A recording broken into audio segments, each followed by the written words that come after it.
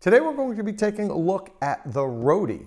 The Roadie is a mobile electric vehicle DC fast charging system by a company called SparkCharge. It's a modular system where the batteries can stack on top of each other and the actual charging unit, which you see here, sits on top. Now SparkCharge is a Massachusetts-based startup that was recently featured on the entrepreneurial reality show Shark Tank where they received a million dollar investment from Sharks Mark Cuban and Lori Greiner. Now, since then, they've been using that money to improve the Roadie system. They've added some features to it. They're scaling up and they're also introducing new services, which we're going to get into in a few minutes. But first, don't forget, click that subscribe button and ring the notification bell so you don't miss any upcoming content here on State of Charge. There's quite a few use cases for the Roadie, but let's first take a look at the most obvious one, roadside charging for EV owners that miscalculated their available range and ran out of charge before reaching their destination. This happens to gasoline and diesel cars all the time as well, but all they need is for somebody to bring them a jerry can of fuel. SparkCharge is the jerry can for EVs. A stranded owner simply calls the local roadie service provider once they're safely off the road, and the roadside assist vehicle arrives shortly after to give them the boost they need to make to their final destination or to the closest charging station. The modular system allows for easy transportation and setup, the Roadie can charge at a rate of up to 20 kilowatts, and that's good enough to add between 10 and 12 miles of range to an EV, depending on how efficient the vehicle is, in only 15 minutes of charging. So let's take a look at the hardware of the Roadie system. As you can see behind me, I have a three battery system. The charger module is stacked on top of the three batteries. I asked for a CHAdeMO version of the Roadie system so I can demonstrate it using my Tesla Model 3. There is a CCS1 version available also. The Roadie system will charge at up to 20 kilowatts. But in order to do so, you need to have at least two batteries stacked. If you use the charger with just one battery, it'll only charge at a rate of 10 kilowatts. Each one of those battery modules has a gross capacity of 3.7 kilowatt hour and a usable capacity of 3.5 kilowatt hour. So each battery module will add somewhere between 10 and 14 miles to an EV depending on how efficient the car is. The battery and charger modules stack on top of each other very easily and disassemble the same way. SparkCharge offers the Roadie system in three different sizes. A two battery system that has 7 kilowatt hour of usable energy, a three battery system that provides 10.5 kilowatt hour, and a four battery system that has 14 kilowatt hour of usable energy. The Roadie system, being modular, is actually light enough for service technicians to carry it around with them. But that doesn't mean that it's light. Each battery module weighs over 73 pounds and the charging unit that sits on top weighs 51 pounds. So a four battery system with the charger weighs 345 pounds. Now that's not something that you'd want to be carrying around in your trunk just in case you ran out. But this product is not really aimed at consumers. Uh, it's too expensive for that anyway. A two battery system with the charger costs about $12,000. However, SparkCharge does have a very attractive lease and roadside service providers can lease a two battery system with the charger for only about $175 per month. And that makes it affordable enough where they can put this on their trucks and if they just use it a couple times a month, it'll pay for itself. So how do you know if Roadie roadside assistance is available where you live?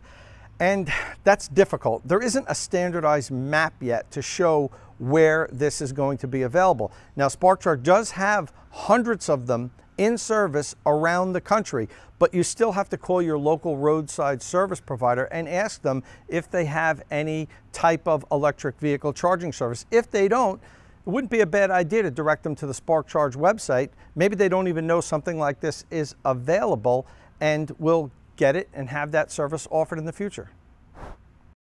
If you've been following this channel, you'll know that in addition to charging station reviews, one of the things I like to do are 70 mile an hour highway range tests with all of the electric vehicles available today.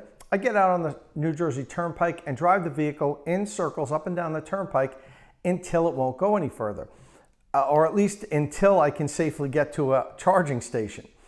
However, now that I've got this Roadie on loan, it changes the dynamics a little bit. Now I can literally drive the car until it doesn't go any further and then have a car following me with the roadie system and we can plug it in and charge it right there roadside. Uh, so what I'm going to be doing is arranging for a loan of a 2021 uh, standard range plus Tesla Model 3. We haven't done the 70 mile an hour highway range test on a standard range plus yet. We have done it on my own personal vehicle, uh, a 2021 Tesla Model 3 a dual motor long range, and we were able to drive 310 miles uh, from 100% charge down below zero. I actually drove about five miles after the state of charge hit zero. That was all I was willing to push it because I didn't have one of these guys in a vehicle behind me. So now that I have this, we're going to do the standard range, standard range plus Model 3 and also I'm going to get a hold of a brand new Tesla Model Y and do the range test on that also. Once I've done all the vehicles that I need to do with the CHAdeMO adapter, I'm going to ask SparkCharge if they'll loan me one with the CCS uh, connector. So that way I can do the range tests on some other vehicles. Uh, this is just the beginning of the video series that I'm going to be doing with SparkCharge. Hopefully uh, they'll continue to loan me these. I guess probably as long as I continue to pr produce videos and, and give them some exposure, they'll let me keep one. Uh, but I think it's really cool to have for the, for the range tests and, and other videos that we do here on State of Charge. I mentioned earlier that roadside assistance was only one use case for the roadie system. Now I admit it's the most obvious use case and probably what it was originally designed to do. I think when the founders of SparkCharge first set out, that was probably their main uh, thought was that, you know, hey, we need some kind of mobile EV charging system to help stranded motorists because it's going to happen. Uh, but now that they have the system and it's developed and it's in use around the country, they're coming up with some new and innovative uses for the system, like Charge Up. ChargeUp is basically charging as a service. It's a mobile EV charging delivery service wherever you want and whenever you want. Now, the interesting thing is, this is actually already in use. SparkCharge has it in Dallas, San Francisco, and LA, and several more cities are going to be added soon. And the real crazy thing about it is the cost is only $25 a month. Quite honestly, I do not know how they can do it at $25 a month. I mean, that's less than what it cost me to charge my EV at home right now. So, you know, how do they pay somebody to come and, and, and pay for the energy? I'm going to get this all figured out with SparkCharge. I'm going to set up an interview soon. We're going to talk to them about it. I'm going to learn more about ChargeUp. But it's really intriguing as it is. So basically, for only $25 a month, you get them to come and charge your EV wherever and whenever you want them to. There's no fee per delivery. It's just a flat $25 per month. Um, it's they do it at your home, they do it at your office, and even on the go. Uh, as I said, we're going to learn more about it soon. This charge up service it makes a lot of sense, in my opinion, mostly because I know that there's a lot of people that can't currently charge at home. ChargeUp's a really interesting concept because I know that for a lot of people, home charging is difficult. If you live in an apartment, if you live in a condo, uh, even some people that live in private homes, their electrical service doesn't allow them to add a 240 volt, you know, 40 amp or 50 amp circuit without a complete service upgrade. And it could cost thousands of dollars. So many of my followers have reached out to me that live in apartments or, or, or condos.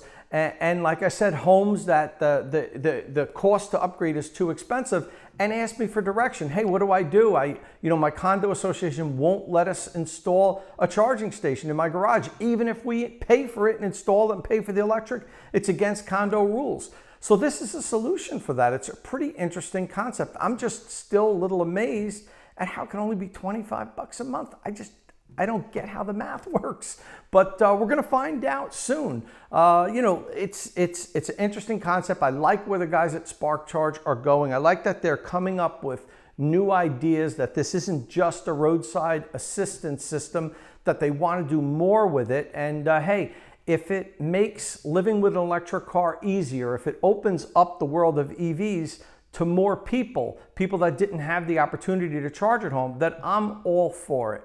So, okay, this is a wrap up on our first video with the SparkCharge Roadie system. There's gonna be more. And as I mentioned, you're gonna see me out on the highway with my range tests, pulling over when my battery is dead and having this puppy here charge us up at least enough to get to a DC fast charge station so I can fully charge the battery.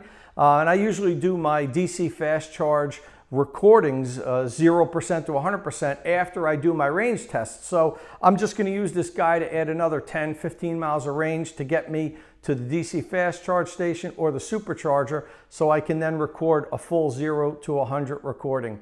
Uh, that's it for today's video.